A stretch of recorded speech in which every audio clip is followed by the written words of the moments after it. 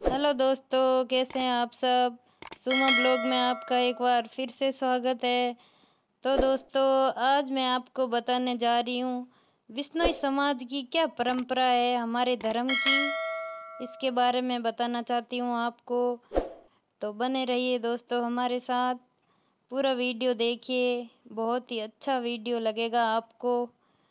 हमें तो हमारे धर्म पर बहुत गर्व है कि जम्बेश्वर भगवान के उनतीस नियम बताए हुए हैं हमें और बिश्नोई समाज का धर्म है कि उनतीस नियमों की पालना करें।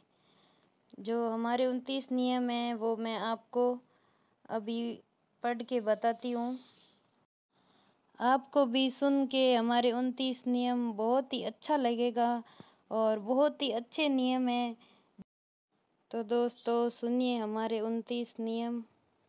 ओम तीस दिन सूतक पाँच रीतिवंती न्यारो शेरा करो स्नान सील संतोष सूची प्यारो द्विकाल संध्या करो सांझा आरती गुण गाओ। ओम हित चित प्रीत सु ओय बाँस वेंकुटा पाओ। पाणी पाणी ईदनी दूध इतना लीजे साण। क्षमा दया हृदय धरो, गुरु बतायो ध्यान। जोरी निंदा झूठ वरज्यो वादन करणो कोई। अमावस्या व्रत रावणो, भजन विष्णु बतायो जोय जीव दया पालनी रूक लीलो नहीं गावे अजर जरे जीवत मरे वेवा स्वर्ग ही पावे करे रसो ही हाथ सु आन सु पलो न लावे अमर रखावे ठाट बेल बदिया न करावे अमल तंबाकू भाँग मद मास सु दूरी भागे लील न लावे अंग देखत दूरी त्यागे उन्तीस धर्म की आकड़ी हृदय दरियो जो जाम्बो जी कृपा करी नाम विष्णु ही हो तो दोस्तों ये थे हमारे उनतीस नियम और यहाँ से शुरू होते हैं हमारे शब्द वाणी ये पहला शब्द है ओम गुरु चीनो गुरु चीनो, पुरोहित, गुरुमुख, धर्म बखाणी जो गुरु होइबा सहजे सीले शब्दे नादे वेदे।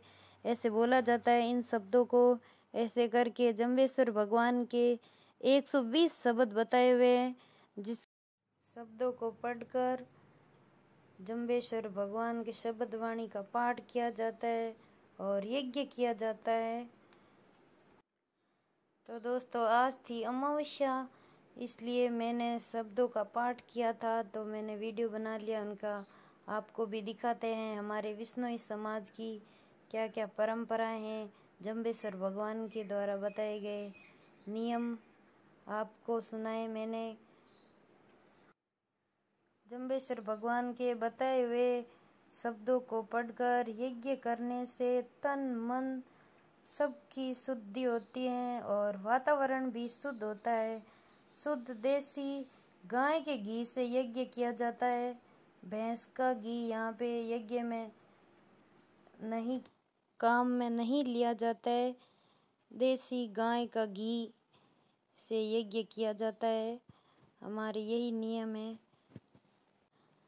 देसी गाय के घी और नारियल से यज्ञ किया जाता है।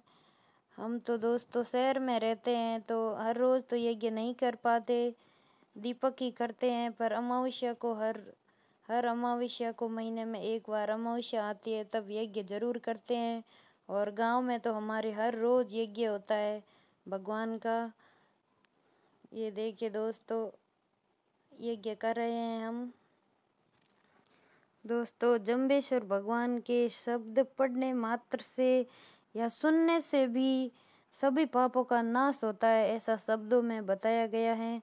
और घर में सुख, समृद्धि, शांति होती है। और जमसार गीता के बराबर है। गीता को पढ़ो या जमसार को पढ़ो, दोनों में बराबर ही ज्ञान है। शब्दवाणी का पूरा पाठ करते हैं तो डेढ़ से दो घंटा लगता है लगभग। तो दोस्तों, हमारे बिश्नोई समाज के उनतीस नियमों के बारे में आपको विस्तार से जानना है हमारे क्या क्या नियम, इनका अर्थ क्या है तो कमेंट करके ज़रूर बताना है। मैं आपको अगले वीडियो में इसके बारे में ज़रूर बताऊँगी। तो दोस्तों, शब्दवाणी का पाठ मैंने पूरा कर लिया है। अब यहाँ पे जम्बेश्वर भगवान की कुछ आरतियाँ बताई हुई है। उनको मैं गा रही हूँ। शब्दवाणी को पढ़ा जाता है और आरतियों को गाया जाता है। आरती, साखी यहाँ पे सब दी हुई हैं। तो दोस्तों, मेरा वीडियो आपको कैसा लगा? मैंने बताया हमारे धर्म के बारे में, थोड़ा आपको जानकर भी अच्छा लगा होगा, आपको भी अच्छा लगा हो वीडियो तो वीडियो को लाइक, शेयर एंड सब्सक्राइब ज़रूर करिए। मिलते हैं एक नेक्स्ट वीडियो में, तब तक के लिए धन्यवाद।